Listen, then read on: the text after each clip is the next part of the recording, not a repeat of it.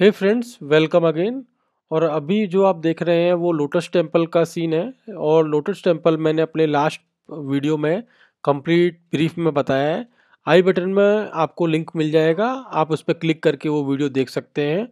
और आज की वीडियो में हम अक्षयपात टेंपल को कवर करने वाले हैं। लेकिन उससे पहले हम गए थे निधिवन निधिवन भी हम पहले वीडियो में कवर कर चुके हैं तो इसमें मैं ज़्यादा ब्रीफ में नहीं दूँगा। आई बटन में लिंक दिया है, आप देख लीजिए।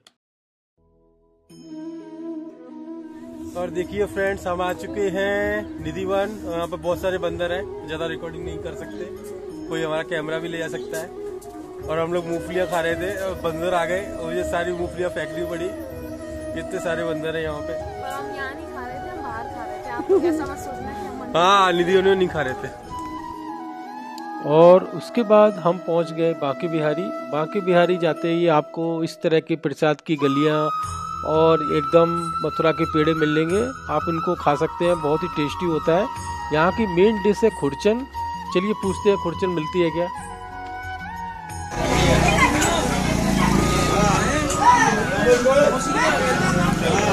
खुरचन रखते हैं क्या खुरचन? अरे यार मेन आइटम खत्म कर दिया।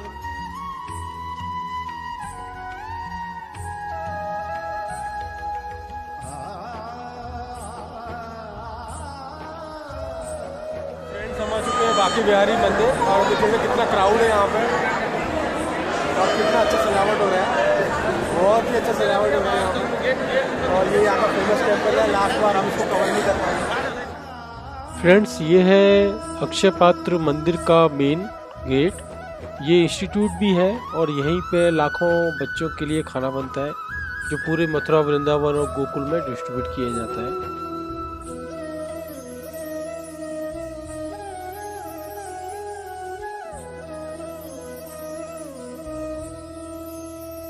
इसी मंदिर के अंदर आपको चंद्रोदय मंदिर जो बनेगा, विश्व का सबसे ऊँचा मंदिर, उसका स्टेचू मिलेगा।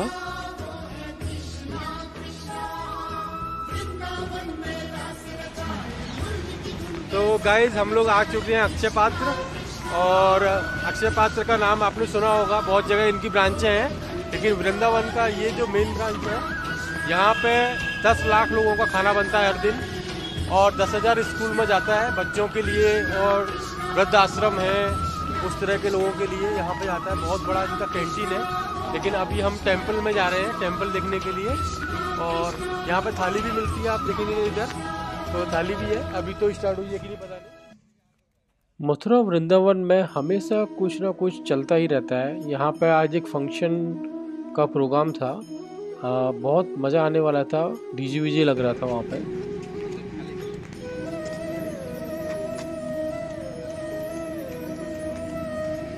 तो कैसा लग रहा है आपको घूम के? बहुत अच्छा लग रहा है। बहुत अच्छा लग रहा है? मज़े आ रहे हैं? मज़े आ रहे हैं। चलो और मयंक आपको कैसा लग रहा है? बहुत अच्छा लग रहा है। अच्छा। अच्छा लग हमें भी अच्छा लग रहा है। और बहुत मज़े आ रहे हैं।